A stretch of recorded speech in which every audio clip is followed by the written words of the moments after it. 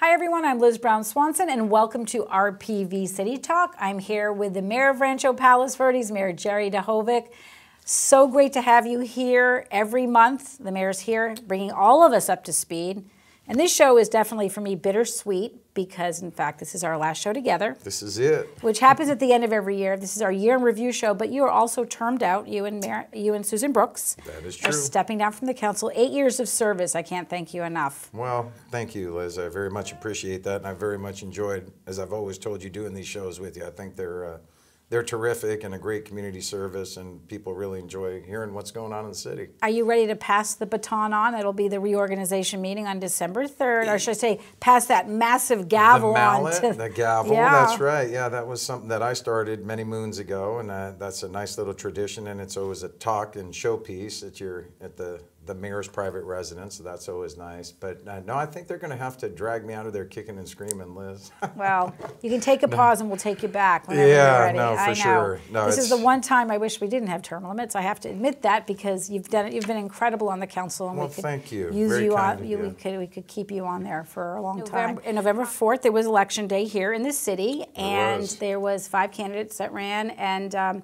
so to remind our residents, just to kind of recap the Sure. November election, we had um, your seat and Susan Brooks' seat will be um, filmed by uh, a planning commissioner, David Bradley. And then, of course, uh, former City Councilwoman Barbara Ferraro was, was elected back on. And then Ken Dyda, uh, founder of the city, as well as incumbent, he um, won his seat back. So there you have the, the next council going forward, um, joining Eric um, Alegria and John Cruikshank. So there's your council. So give us a recap of the election, your thoughts on the um, whole. You know, it was an interesting election. kind of being an election watcher for many years back, it, it seemed it was a very um, uh, lower key type of election. Uh, David Bradley, you know, he, he was out behind the scenes. He was the highest vote getter, over Right. 5,000 votes, which was a lot. And another interesting note is the votes separating first and third place, there were three seats, was less than 500. So they were very, very close there. But the candidates did a great job. Um, you know, not not too much uh, mudslinging and what have you. There, there were there were differing opinions on certain things, but it was a very well run campaign. Uh, I do want to thank the winners. I think the city uh, is in good hands going forward. I also want to congratulate the other two gentlemen, Dave Emenhiser and Steve Perestam, who didn't make it. Uh, it's always it's it's difficult to throw your hat into that arena. It's a lot of work. Um, so anyway, congratulations to them for running their campaigns and and, the- and volunteering to serve the city. And the two of them, um, they didn't make the council, but they have both have been serving in, on the planning commission and have spent Multiple multiple, you know, volunteer hours. Finance Advisory Committee, HOAs, the whole the whole nine yards. right. And also special uh, congratulations to Ken Dyda. He's a founder and he just uh, had his 88th birthday. Some were saying he's over 90. He's only 88, but uh, he's just an amazing guy. City founder and, and like I've said before, he, he he bleeds RPV blue and green. Right, and often we talk about institutional knowledge when you know you have the two council members, Eric Alegria and John Cruikshank. We call them the newbies, but they've been on now serving, so they're they're they've got their their rhythm going. Um, but then of course Barbara Ferraro had Ferraro has served before. Absolutely. So um, you She know. a former mayor too. so she um, will have, you know, be able to get right up to speed, I would think, pretty quickly. I think so. And we're, like I said, we're in good hands. John and Eric do a great job, uh, very conscientious, uh, always fully prepared. So I'm, I'm, I'm happy and I've, as has Susan, offered, uh, you know, our services or the ability to talk right on anything. during that transition period. I'm well, sure you'll be right going there. down years if somebody needs an opinion or something. On or off the record.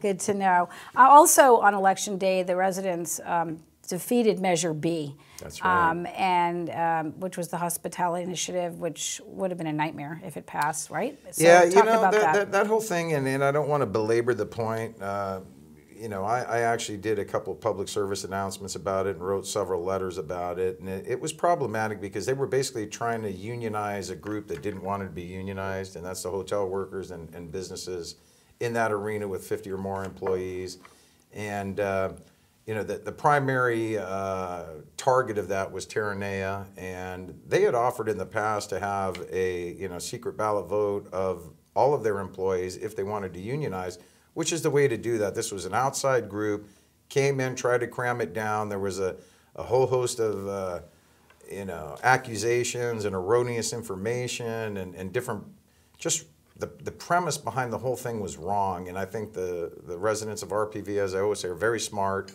and uh, they saw through and it was almost 80% of the, uh, the voters voted no. So uh, I 100% wholly endorse that that was the right move. All right. Yeah. Well, so we're going to move on from the election. Uh, your last city council meeting, well, your official full council meeting that was on November 19th was action packed. You had a four hour plus meeting. Big agenda. Lots on there. So I wanted you to kind of recap that meeting. And one of the things I actually had the opportunity to recognize two what I call heroes among us, and that's something else I brought forward, being a former military individual, and you don't really realize um, how many, and I call them heroes, that people have done different things in different branches of the service. And I got to recognize two gentlemen, and that, that was very special. And I got, uh, I don't want to take compliments, but a lot of people really, really enjoyed that program.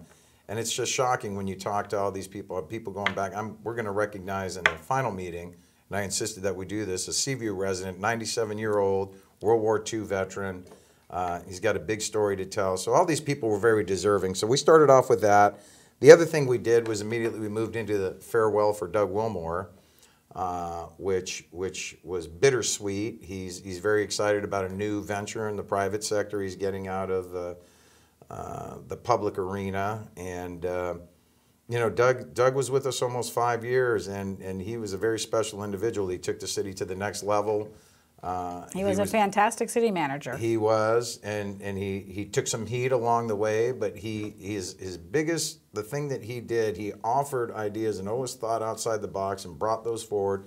Waited for the council to make a decision and never second guessed what we did. He he ran. He was a hard charger. Whatever we wanted to do, he hit it hard and did it fast. And sometimes we had to tell him take it slow. But now he was great, and we hated to see him go. We also we also approved the contract for Ara Mihranian as the interim city manager, which is huge. Uh, Ara's been with us 20 plus years. He's the perfect person to act as an interim, and I guess maybe this will, uh, uh, you know, I'm going to put a little plug in for him. I think he'd be a great city manager. Um, you know, uh, Ara is beloved and well loved universally, and my only comment to Ara was, well, be prepared because the city manager sometimes gets a target on their back. So, but that was exciting for and I think the city will be well served with him there. The other thing we did was uh, uh, approve the final phase of the ALPR cameras on the east side, which is huge. Uh, as you know, the automatic license plate readers has gone a long way to the entire peninsula in conjunction with the other cities is almost fully um, covered with respect to that. And it's gone a long way to improving our crime stats and, and hopefully discouraging uh, wrongdoers from coming onto the peninsula because word's getting out. You're going to get caught if you come into RPV, so that's big. Touching on what you talked about, which was the NCCP, the Natural Communities Conservation Plan, we did approve that. That was huge. That's that's been in the works since 1996. We had a big hurrah from the Land Conservancy uh, folks in the audience. They've been waiting for this. Well, it's it's not only that they were waiting for it, we've been waiting for it too, because really what it did, it streamlined the permitting process, not only for the city, but for, for residents and, and those that, that may have habitat on the property they'd like to develop. So that, that's streamlining and the, the, uh, the fact that you don't have to go through an elongated approval process was huge. And, and obviously, this is very important to the Conservancy because they're our contractor for the maintenance of the, uh, of the preserve. And uh, it's huge for them because it gives them direction and it locks certain things down. So, very, very important. Um, and, and I'm proud to say that that was adopted unanimously and, and it was very well received. So, it's big for the city. Uh, the other big thing we did was Zone Two, as you know, in Portuguese Bend. Uh, we took that up in 14. That's been an issue for a long, long time. There's 31 residents, and I won't get into all the weeds here. Um, but the Monks lawsuit, et cetera, 31 residents uh, have been prohibited basically from building on uh, what has been de- deemed uh, stable enough land to build on, and others have built. So finally, I think that we, we made the right decision. The EIR, va- EIR validated uh, our decision, so congratulations to those individuals. And the other thing we did was um, we, we agreed, and we had already started on this, a, a, uh comprehensive fuel modification plan, fire prevention plan. Uh, James O'Neill had done great work thus far, but it was completely and fully ratified at that point. We're working closely with the preserve because Uh, the preserve, obviously, in RPV alone is 1,400 plus acres. Uh, if we had a fire issue there, it could be catastrophic. So, very, very aggressively dealing with that. So it was a big meeting. It was Yeah. a long meeting, a lot going on there. Well, I appreciate that. You referenced the fact that during that meeting, of course, that um. Mihranian was um, named interim uh, city manager at the time. Where- Can I, can I just correct you? I- Sure. I would like the term acting at this point, because interim means he's probably leaving, and I'm not sure that's okay, the we'll, case. we'll call him acting. All right, Acting that's is good. good, We'll like that. Acting city manager, Yeah. and um, but along with him leaving, uh, not him leaving, with Doug Willmore leaving, who he's replacing at the moment, we've lo- the deputy city manager Gabby Yap, um, who we're going to miss. She's she's left the city as of the first week of December. She's That's- taken a up, right. position in uh, Beverly Hills. Uh, Congratulations to her, her, right? Deputy right. city manager. Our finance director, Deborah Cullen, also stepped down. So there's a lot of changes in the upper management at City Hall. What are your thoughts on that and how that would impact city services? You know, that's always tough. I, I, I really hated to see Doug go, but he he lasted much longer than the average city manager's tenure. You know, they roll every three or four years. He was almost with us five, and and really Doug's demeanor again. I can't say enough about it. You know, he stood up when he needed to, but just the way he dealt with the council and did his job was terrific. And the other big thing I would say is the team he put together. That team at City Hall, especially at the senior level and even down to the rank and file levels, was stellar. Deborah Cullen, no one better than Deborah Cullen on the finance side. I really hated to see her go. She promised Doug two years. She was here almost four. The systems that they implemented, not only from a technology standpoint, but just the reporting and everything associated with it, she just did an outstanding job. Gabby, anything that goes on in the city, Gabby's got her hands in it one way or another. She was great, and just the demeanor and the professionalism was awesome. So it's always tough to see those people go, and even with their short tenures, with the four or five years each, um, there's institutional knowledge walking out the door. And we've got Ara, but Ara's filling three shoes at this point. We're bringing some other people in. I'm, I'm confident that we will we will do well going forward. Deborah's replacement had worked with her for 20 years, so she's got the same demeanor and system, so that'll be good. Um, but you know, we will muddle through, and Right. that's what you do. and the next city council pressure's on for them to Pressure's um, on right away. select that the next city manager, as you say. You know, you're hoping, supporting that that it'll become Ara. I think so, and but I they're they're doing an open search right now. open search, and there may be another qualified individual, and that's up to the, uh, you know, I kind of say that tongue in cheek, but I have the utmost respect for Ara. Um, but it is up to the next council. And if people don't know, the only two individuals that we really, as a council, uh, have authority over are the city manager and the city attorney, and that's it. So And until the next city manager is selected, thus the deputy will have to be on hold as well as the finance right. director. So and the way they restructure and who they Mm-hmm. hire and you know your, your recourse is really you're, you're not supposed to get involved with the running the day-to-day of the city councilmanic interference your recourse is to fire that individual if you don't like their job so right. But Anyway. he said for now the city's in good hand, especially with Ara. He's been around for more than 20 dec- Mm-hmm. plus, yeah, yeah. 20 plus years. And um, okay, well, we'll stay tuned for that. Yep. Um, let's look back on 2019. This is our annual year in review show here on City Talk. Um, Just Uh-huh. in general, are you satisfied with the state of the city and the quality of life here for all of us residents? you know i'm so proud of of the city of rancho palos verdes and, and when i say that i'm talking about all the residents and all those that make city government happen planning commission all the various committees all the involved residents that come and give us their their input uh, the city the state of the city is excellent.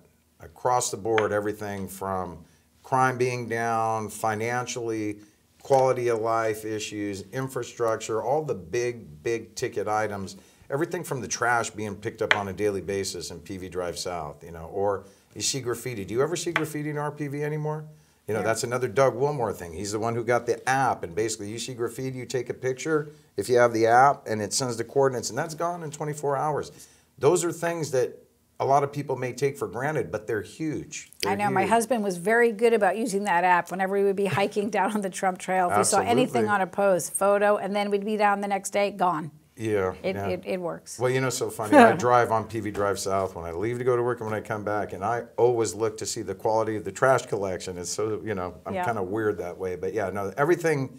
The city couldn't couldn't be in better shape right now, in my humble opinion, That's good. and I played a small role in that. You've, So you've done a lot for the city. One of the top goals was public safety. You referenced with the ALPR cameras. Just describe more, if you can, when you reflect on this year, how the council's really, you know, done a lot to help, you know, help bring crime down and uh, meet that goal of reducing burglaries, and things like Yeah, that. Yeah, well, the council, in, in any council, I think if you if you're a council watcher in this city or any city, public safety is always job one. Infrastructure is job one A. That's those two go hand in hand. And and this council and the prior council that I was on, we fully embraced uh, crime reduction, crime prevention, public safety on multiple fronts. And you know, we implemented programs like the Ring doorbell uh, subsidy. We've gone through. You know, we did it once. We were the first city to do that. Um, now we're in round four of subsidizing these people because that was, you know, unanimously hailed as a successful program, and, and we're continuing to do that. The ALPRs, we were the lead on that. We were the first city on the hill to bring that forward. We did all the due diligence, we did all the research, and again, with the city manager and uh, Councilwoman Brooks, uh, you know, we enlisted the other cities to participate, and now we have a just about fully covered hill here with the ALPRs again, which goes a long way uh, towards crime reduction. Um, you know, with respect to fire safety, uh, we were very, very aggressive on that. And as I mentioned earlier, we have a comprehensive strategy there. We just allocated in the last three meetings, uh, you know, Half a million, right? half a million on top of the 350,000 plus that was there before. So we take this very seriously. And the other thing, Because the community must be reminded that here on the peninsula, we are in like a high, high, high hazard. the entire city of Rancho Palos zone. Verdes is considered a very high fired hazard zone. And, uh, you know, there was talk about insurance policies not being renewed because of that. And there was a little bit of that, and I'm not sure how much of that is, is still going on. But we, the, the biggest thing and the biggest mantra that came forward from this council early on in, in my tenure as mayor was, this can't be, uh, you know, once the rainy season is done, we're gonna go down and do fuel mod. It's a year-round deal. No, we have to attack it year-round because the mustard grass, the mustard was beautiful and, you know, you got all these beautiful pictures, but as soon as that dries out is a massive fire hazard. The acacia that Yes. we're removing. I was up in uh, the preserve with some city council members and the Palos Verdes Peninsula Land Conservancy staff as they were removing, you know, quite a bit of that. And- and- so explosive. explosive. It's kind of got a tar base on the inside, and as it goes, you remember when a, an ember can travel four or five miles and you know start a fire far away from us. And the other thing we're looking at too is the fuel modification along the the, the coastal arterials, which is good for two reasons. Number one, it gets rid of the fire danger. Number two. You, you really don't realize as time goes on how much of the view you lose along the drive if we don't stay on top of that. So that's a that's a that's a double winner there. So you're pleased where we're going in terms of public safety, the direction. gets- Absolutely. And I, I think this council, everything I've heard, the, the new council members soon to be uh, sworn in and the two, and actually three incumbents that are there, fully embrace that. I think that, that's not going to change. We're going to on to talk about other projects for 2019, public works and infrastructure. Um, what stands out for you and what you've been able to accomplish to sort of improve um, the infrastructure of the city? You know, several things. Um, somewhat controversial. We wound up buying all the street lights, pretty much all the street lights in the city from uh, Southern California Edison. Uh, we actually paid the electrical bills on all that, and we're converting all those to LED. And we've gotten a lot of compliments, a, a plethora, if you will, of compliments on this new lighting and how much nicer it is. We got a couple complaints, and we were able to deal. You know, somebody said, "Oh, this lights, you know, LEDs are a little bit wider and brighter." Um, but we were able to do some shrouding and take care of that. So that was a big one there. Uh, you know, the streets that we deal with, our residential roads are tops in the state. Award winning. Award winning, and you know, 88% of the city's roads are A or A plus, which is unheard of. Uh, infrastructure, we're moving um, uh, cautiously, but but uh, continually, kind of like the the slide itself. But I'm talking about Portuguese Bend. You know that that's a big thing, and we've got some things coming up there. Uh, traffic has increased obviously since we've become a destination city. Uh, if you don't know, there's going to be a new street light at PV Drive South and PV Drive East. Uh, You also- champion that. I did, and and there's going to be some timing issues with uh, or things that need to be corrected, so we can basically platoon traffic. The other big thing there is on PV Drive South, right outside of Trump. Very difficult uh, ingress and egress for, for people in the Ladera Linda neighborhood. So we're going to make some major modifications there. You'll see all that happen in 2020. And, and if we can just get the cars to platoon by controlling that, people will have a, a little easier ability to get out of the And a neighborhood. personal note, you and I both live in this neighborhood that we're talking about off PV Drive South, well, so we're in we'll benefit. Seaview. We're talking more about Ladera Linda's house. I know, but we're a block problem. away. We are. And we- I feel the, thing. impacts trying to get out of the neighborhood. though. Absolutely, you do. So this will Yeah. be good. And um, you know, those are probably the biggest things we have going on right now. Okay. Um, a lot of talk all for years now um, about building a new civic center. Yes. Big project down the road. Where Yes. where are we at with that? You, what direction do you feel like you took um, as mayor with the council dealing with this? And there's been a Well, this has been a long-standing project. I can't take uh, any any unilateral credit for what transpired there, but you know, we we acquired that property uh, from the federal government as part of the federal lands to, to parks program, and and uh, there was about 10 acres in question. If anyone has actually looked at the city hall property, it's a nice big property, but it wasn't contiguous. And there's city-owned property, and there was other property that is city-owned but had deed restrictions on it. And those deed restrictions have caused us uh, consternation over decades. We've been trying literally, believe it or not, for 25 years to get those deed restrictions removed or modified. And that was one of the goals that uh, we set for Doug Willmore. We actually hired a lobbyist, Councilman uh, Cruikshank, and uh, well, actually Mayor Pro Tem Cruikshank now, and Councilwoman Brooks. We're on a subcommittee, uh, and I participated peripherally uh, in dealing with Washington and trying to get this done. There were several starts and stops over the last three or four years, but very aggressively pursuing that. We finally had, um, we were going to do a legislative approach, and then we, we took a different tact. And the city manager made, I think, like eight eight or nine trips to DC, really working on this. Uh, we did get those deed restrictions modified, and the the uh, formal approval from the agency. I signed that. That was a big signing. I actually took a took a lesson from John Hancock. There was a big space, so I put a big signature on that one because that was that was a, a- that was a big bellwether day on that. how exciting. It was very exciting, and and you know we have, like I said, the ten acres. we we now have the ability to put public safety facilities on there, including, uh, you know, a sheriff's substation, a fire department, a new improved helipad. Maybe you know there'll be two landing pads there, emergency operations center.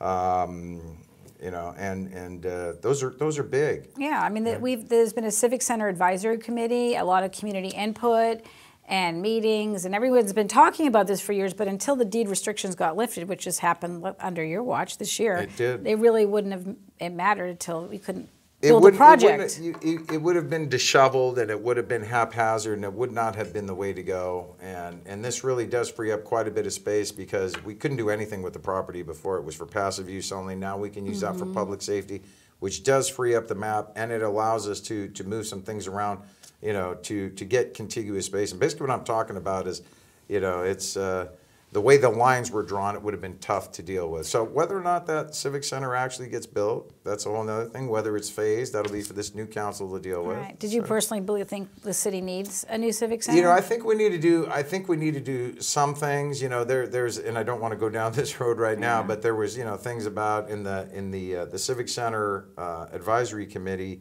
worked with Gensler, who was the architect, and they came up with a, a actually they even did a model, but they did a plan of here's what it could look like. it wasn't the Taj Mahal. But It wasn't the Taj Mahal, but this it was it was conceptual, and we were going to actually we we approved an RFP to go out and get the designs, but you know in their design say oh you can have a cafe for that cafe got so much attention, Mm-hmm. and and it was unnecessary because it was conceptual and had nothing to do with being approved. So Right. well, the, the new council will have its hands full on that. There'll be much more public outreach on the topic. Um, and, and, and I think we're, we're due for, for something there. I'm not sure we do it all in one fell swoop. Financing will be an issue. Um, so we'll see. We'll see. But we, we, we took care of step one right now.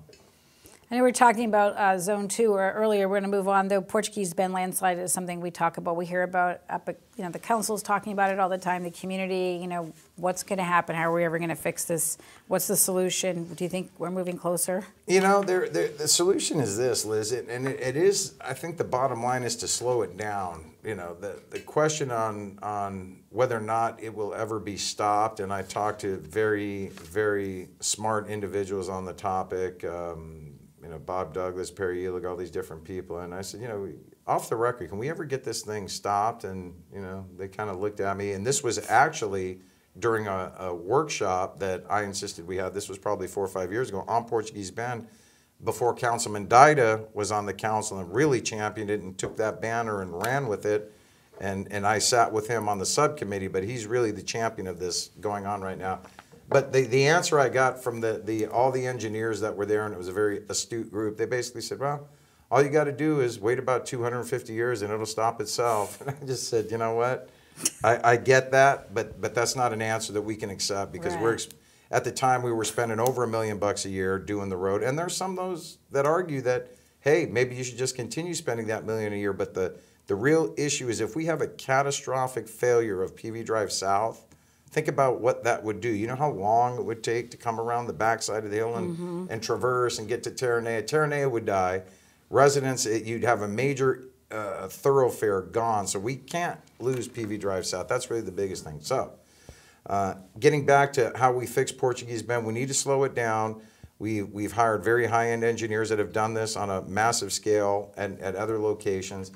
And this council has directed uh, that group to come up with a plan to move slowly but methodically, kind of like the slide itself. Mm-hmm. We're gonna we're gonna do some hydro augers, parallel, uh, get the water out of the whole Ishibashi you know, swamp. When it rains there, that fills up. And if you ever, it's it's there's several people. Lowell Wiedemeyer, who was on that committee, you know, he shows videotape when that thing has three or four feet of water, and that gets absorbed in the ground very very quickly. And water is what's making the right. land move. We got to get the water out. Dewatering wells, uh, uh, um, getting new new pipes underneath PV Drive South, getting the water to the ocean. So, but we're going to do it methodically, and we're going to do it, um, you know. Um, in phases. So again, another many big decisions for the new council on that front. Well, we've been discussing this for over 50 years. So at least, yeah. yeah. All right. One thing um, that we all like to talk about that parks make life better here, and that so they I move on talking about what's happened with the Rec and Parks this year in 2019. Um, just sort of how the council you feel like that the, that the parks have continued to thrive and improve in the community, and it's so important to offer the community recreational programs. Well, we're really, if you think about it, we're the only city on the peninsula that has all the parks, and our parks are spectacular. Most of them have view components, they're very well maintained. Um, you know, the, uh, the preserve is not a park, but it, it, is, a, it is another venue for uh, passive recreation. Uh, but our city and our, our uh, Rec and Parks Department do an outstanding job. If I read the administrative report, by the way, anyone who's interested on what the heck's going on in the city should read that administrative report. comes out every Wednesday. It's online. It talks about everything that's done, and there's a section in there that talks about Rec and Parks and all the activities There's from so much happening. You know the Reach program, the right, you know, uh, the, the the Easter egg hunt, all these things is it's there's a list of five or six things on a regular basis that I don't think most people know that goes on and that are offered in the city. And There's always a couple hundred kids, two to three hundred kids attend. This is great stuff, and and not only do we have the facilities, but we have the programming. So hats off to that whole group there. And you know, we we just went through a Ladera Linda master plan, which is huge, and that's going to be a community center there. I think it's right sized now and this new council has things to talk about, like how we're going to finance it, et cetera, et cetera. But we've we've approved a design going forward. Uh, Lower Hesse Park has been significantly improved under our watch. Also, if you really think about where that was, look at pictures before and after. Now they're putting some shade structures down there. Uh, we're redoing the turf at up at Upper Hesse because it's tough to maintain. That's another half million dollars there. You know, again, the Civic Center complex. One of the phases might be just to improve the parkland of this area that we're in right now and the open space and the green space. And um, so lots of good things going on in that arena. We are clearly a destination and people come and enjoy our parks. And, you know, even I live across the street from Marilyn Ryan, right. like you. You see how many people, that's a very small pocket park, and those people love it. They're throwing frisbees with their kids. It's great. Do so. you have a favorite park or spot? Because you grew up in RPV as I well. Did. You've been here since the fifth uh, grade. You know, a favorite park. Hmm. Um, that's a tough. One. Could one. be a favorite hike or. Yeah, well, you know, I, I kind of like Ocean Trails. I yeah. like that whole. You know, we live there, and yeah. that's that's the, the hiking is fantastic there, and, and Marilyn Ryan. Um, you know, Ladera Linda has a lot of great memories for us too. We actually had several of my young kids' parties up there. There's soccer games up on the upper fields that really aren't part of Ladera Linda, but they've been uh, incorporated up there. And, and obviously, Hesse is a showpiece, and Ryan has a lot going on. Of course, so- yeah. In fact, Ryan Park right now, there's a mural project in the works, so That's you got what to stay hear. tuned for that. It's going to be a beautiful display of the uh, mural of the PV butterfly. So, yeah, I'd have to say my kids, it was like going to Ship Park, which Yeah. is Ryan Park, Yeah, or but really? yeah, no, Uh, we always we always enjoyed Ladera and Linda, even though it was a little on the, the dilapidated side. But you know the basketball courts and the, the grass area, and it was close. So anyway, Mm-hmm. a lot of great choices. big stuff coming up there. as we sort of get close to having to wrap up here, um, for starters, you know, uh, over this year, I mean, you as mayor, there's so many. So besides the council meetings, you're at so many different events and ribbon cuttings, and of course, very exciting when uh, the president of the United States, Donald Trump, was here, and you were That's right. eh, went to got to go to the dinner when the night he was here on a, on a special visit. So share some of the highlights, including if you want to take us down memory lane. Yeah, I'm Um, kind of going to do that via calendar. There, there- there's, Okay. there, there's so many different things, Liz. You know, first it started off. Uh, you know, we had Whale of a Day. That's one of my favorite things, and you know, the the Fresnel lens was was a big Right. deal. All the new exhibits down there. There was big fanfare there. We had the Coast Guard there in force. Uh, that was huge. So I really, really enjoyed that. And there was, you know, I had the big scissors and the ribbon cutting you're Yeah. talking about. That was fun. And for the viewers watching, you have to go to the Point Vicente Interpretive Center to check out the lens, which it came from the lighthouse, so so they Yeah, know what's Point going Vicente on. Lighthouse. Yeah, but that was special that you got to. Uh, It was very, very special, and it was an educational thing, and you really don't realize, you know, how ahead of that that hundred year old lamp put out, you know, light twenty five miles out to sea. It's kind of crazy, and it had to do all with the crystal placement. But Right. anyway, go check it out at PVIC. Right. So that was all Whale of a Day, the festival of the, the whales, and you were there as mayor, and that was fun. Absolutely, and then then the other thing that comes to mind is Memorial Day. That's always very poignant at Green Hills, and and uh, I got to give an address in 14 when I was mayor, and this year too. So that that makes it that much more special uh, for me. I was able to convey some thoughts and some words, and and that's always again, um, you know, we we have to remember those that have served and that are and, and have passed, and those that continue to serve Yeah. because you know, I, I think every day when you look at the chaos around the world and it's in our face with, you know, social media, how lucky we are to be in the United States of America. That doesn't doesn't get lost on me. And as you, before you continue and I want to thank you for your service because you were uh, serving the Air Force, and you you are one of the heroes among us. Just so you know. Oh, well, I wouldn't go that far, You but I, I think I did my part, and I, I think everyone who serves does their part in one way, shape, or form. And, and you know, the military is an outstanding group of individuals by and large, usually, you know, creme de la creme. But it was special. You got to be up there and give. give it was very the- very of the special the and, and and i i actually it forced me it, it was it was a cathartic exercise for me because i really dwelled on that for i had like four minutes and i wanted to impart some words of wisdom and i, I dwelled on it for about two weeks and it made me do a lot of thinking and as you know i've lost more friends than i can imagine in the service of this country both in combat and training for combat. Uh, so it's very personal to me.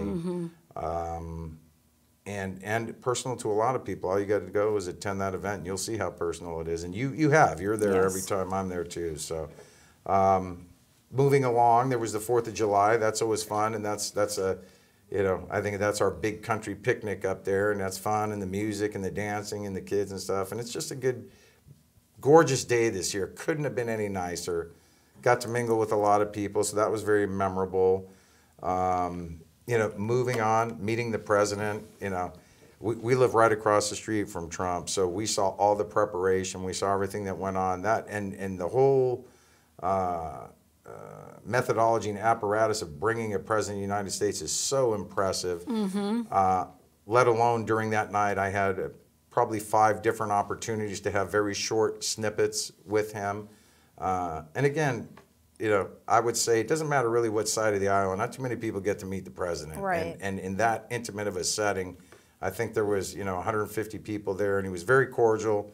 Didn't talk politics, just very nice, very affable. Took pictures and uh, you know, to see all the Secret Service around, like I said, it was an impressive show. Yeah, So- that was it was pretty special. I was there filming for RPV TV, and again, like you said, it doesn't matter what your politics are. It's just to have that opportunity to have a president come to RPV, and also to have Trump National in our community Absolutely. is huge. And and that staff down there, they do a great job. And unfortunately, I think they take some heat. You know, I've had people tell me, "Well, I don't go there anymore because I don't like the president." Well, you know what?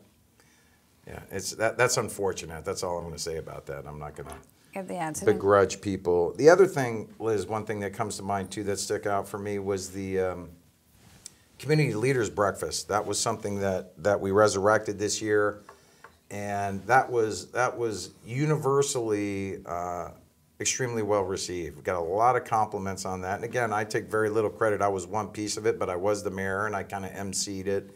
Um, and hopefully that continues. But that brought together leaders in the community from multiple areas. Uh, they got debriefed on everything that went on in a semi-casual environment. So, and it was a nice give and take. There it was really, really nice. And again, universally well received. Uh, a couple other things that I enjoy. You know, you talk about being a mayor. I had a, I get a mayor's breakfast. I get to run a meeting uh, the last Friday of every month uh, with the heads of the various committees and commission. Um, we only have one, the planning commission. Um, and we share input, and I give a debrief, and then we get all that input there, and it's it's it's a brain trust of very very dedicated people um, and that that always I just I relish that and I enjoy the interchange and you learn a lot and I think they learn a lot. And those are the future leaders too. Hopefully, you know, some of them. David Bradley was on the planning commission. He's now on the council Yes. or will be shortly. And the other thing, the memorable things, Liz, was uh, all the different HOA meetings. Those are those are important to me because you get in front of you know 40 residents or 200 residents, whatever it is, and and it is. Uh, the way I always dealt with it, I gave opening remarks and I talk about whatever you know I ask in advance, anything particular you want to talk about. And then you open up for Q and A, and those Q and A's last a long time because most of the time they don't they don't get to talk face to face to the one of the decision makers or policy makers and get very candid answers. So that I really enjoyed that. So those are probably some of my highlights over the year. Right. Yeah. And then to look at the big picture of eight years, you, you, you were sworn into this to the city council in 2011. 2011. In December of Can you believe that? 2011, Yeah. here we are in 2019. And if you look back to like when you think about the issues then, like why you decided to run and what, Mm-hmm. what's going on now, like what, what can you share with us when you compare back then to now? Yeah, you know, thinking about it, one of the biggest things, it was an infrastructure issue. If you remember San Ramon, that was probably the first two and a half years on council, that was the biggest thing going on in the city. We wound up, I think, making the right decision and getting that ultimately built, and we had a big uh, grand opening over there. Huge project. Also, if you remember, Liz, you reflect back, crime was a massive issue back then. Um, the prior council, prior to the you know this this new council here, not so new now, uh, we dedicated millions of dollars to dealing with crime, and and you know I just again I've said it before, my heart goes out to those people who who the word is violated. Your house is robbed, whether you're there or not. You feel violated, and that's and and the numbers are still you know if you think about it a respectable year would be under 80 burglaries in RPV. Think about that number. That's 80 families that, that have had this stressful, potentially dangerous scenario uh, that they have to live with. So the council understood that, and we we hit that hard. We we spent millions of dollars over the last several years, multi millions of dollars you put added patrol addressing cars, that added, added patrol, staff, all of SAT detectives, this PV Drive South, and traffic. You know, you think about we had a big motorcycle problem, so you know that was a big issue back then. Um, the other thing that kind of struck me, and I, I wasn't really going to bring this up, but when I first got on council, that was different. There was a massive distrust of City Hall back then. It was it was rampant. Some of it was was accurate to certain degrees, and a lot of it was not. And I spent the first two or three years uh, on council working with other council members and members of the public going in, getting your hands dirty, nothing to do with council meetings, going in and sitting with staff two, three hours on a Thursday night and say, show me the books on this, show me how you do that, what's the check and balance here, this, that, and the other. And the good news was, after we went through that exercise, it was like, you know what?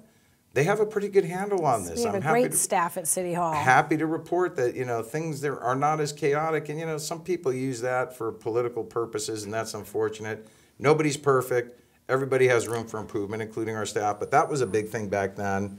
Um, we did the rules of procedure. We implemented what we call the CBA, which is the the uh, compensation and benefits analysis of of all staff. We are the most transparent city across the board, bar none. And I would I would say in California for sure, maybe maybe nationwide, we do more to let the people know and and have a look into the behind the scenes financially what goes on there than anybody else. You know. And the other one last thing I have to say too is is back then if you remember too the dog park was a big issue. and and and, and uh, it's so funny. I rolled in here tonight to the Civic Center complex. There's about six dogs in there in the dark with their peep, their their uh, owners yeah. over there. And I was the one who said, and a lot of people take credit for this, but I know because I went back and looked at the meeting when everyone was taking credit for this. Was well, why don't we try a temporary dog park? And that temporary, Carolynn Petru ran with that. And that dog park's still here today. And now we have another dog park at Eastview. Those we get more compliments on those two dog parks than than a lot of other things. I forgot to mention that in the park right, discussion right. we had earlier. So anyway, so, yeah, well, I digress. Though that, that, there's always plenty of there. It's busy over there. Busy tonight. There were six dogs, and I rolled in. It was dark. And is it still a temporary dog park? Are we still calling uh, I think temporary? it's you know I don't think we are. I think, I, well, it's temporary because it may be moved, but it's a let's call it the successful dog park. It, yeah, you know? it's, it's it's it's yeah. There's a lot going on there. There's and there's a community too. You know, That's there's a, even there's a mayor a of the dog park to have competition view. But absolutely, they have someone where they call the mayor of the dog park. I've met several people there myself over yeah. the years. Um, you just talked about a lot of highlights. I'm just thinking of all. I mean, when you look back on all the votes that you probably you've made as a councilman and mm. mayor, is there one vote that you can share that you look at and you think, "Wow, I was able to really make a difference. I want to be remembered for this." Like, I don't know, is there something that stands out? It could be something we already said. You know, the, the three biggest ones, obviously, actually maybe four. San Ramon was big.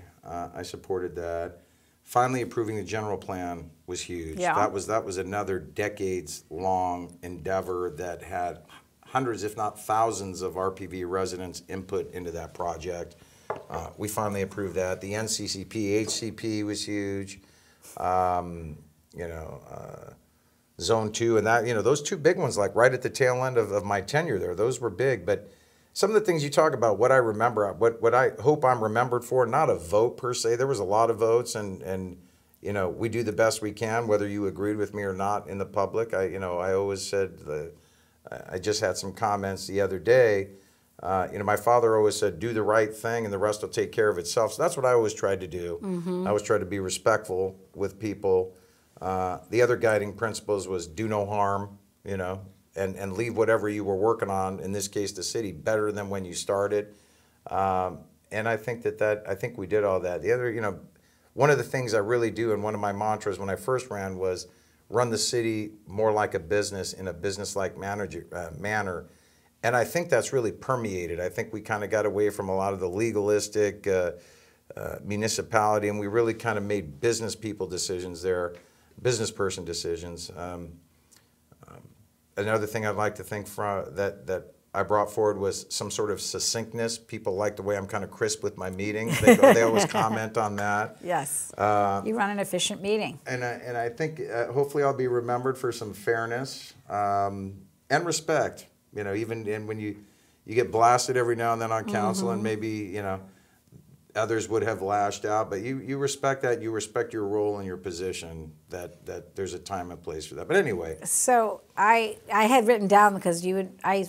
There's been a lot of parties celebrating what you and also Susan Brooks is going to be off the council as well. Oh, that's right. We were at uh, Trump National. There was a get together with the community just right. recently, and that was fun. And you mentioned that your dad said, "Do the right thing."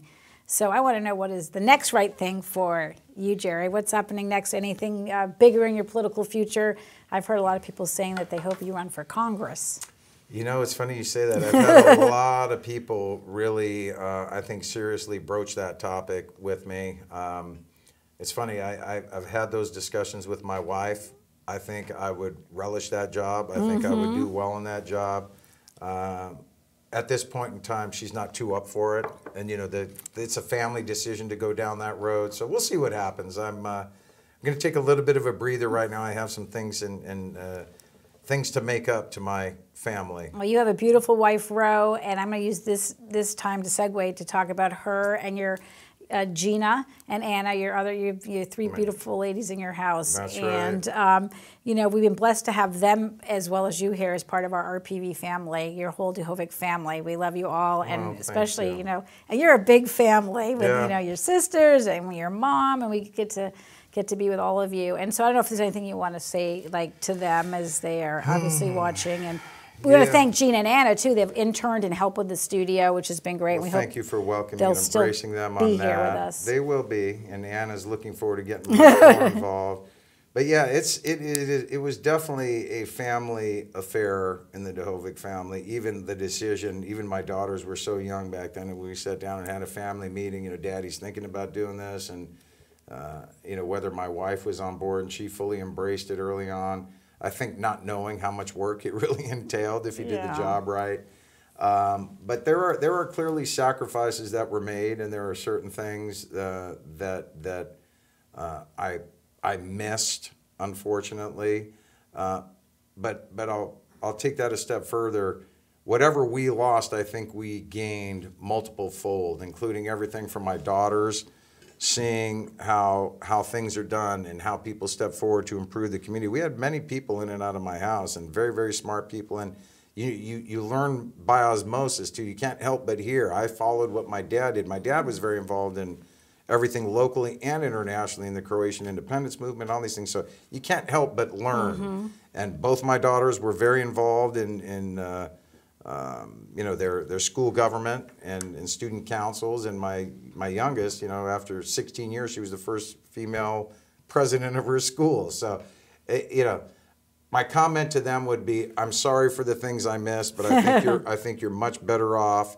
Uh, to my wife, the same thing. I'm sorry, honey, for being a little out of pocket. She, uh, she's looking forward to the day when I'm not up at four or five in the morning reading my binders, and Yeah. you know we could share coffee. But I also want to say thank you very much. It was a family affair. I love you all very much.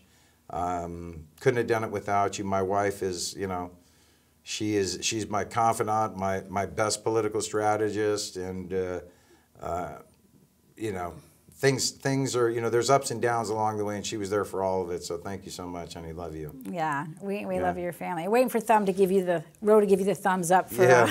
for Well, we'll Congress see. I, you know, day. she gave me an earful the other day. I'm not sure how happy she is for. it. We'll see. So, all right. So now, before we have to wrap up our show, anything else you want to say to the community? Yes, Liz, thank you. I just want to say, as I've said hundreds of times, serving on the council in Rancho Palos Verdes has been an honor and a privilege and my pleasure. I want to say thank you to all the residents uh, for your support, your concern, your involvement. We have a wonderful community. Uh, again, it's been my honor and privilege to interact with all of you out there. So thank you very much from me and my family. And thank you. It's been an honor and privilege to have you here in our studio, to have you as our mayor and our council, and I look forward to seeing you in the neighborhood. Absolutely. All right, that's going to do it for this edition of RPV City Talk. I'm Liz Brown Swanson. Thanks for watching and happy holidays.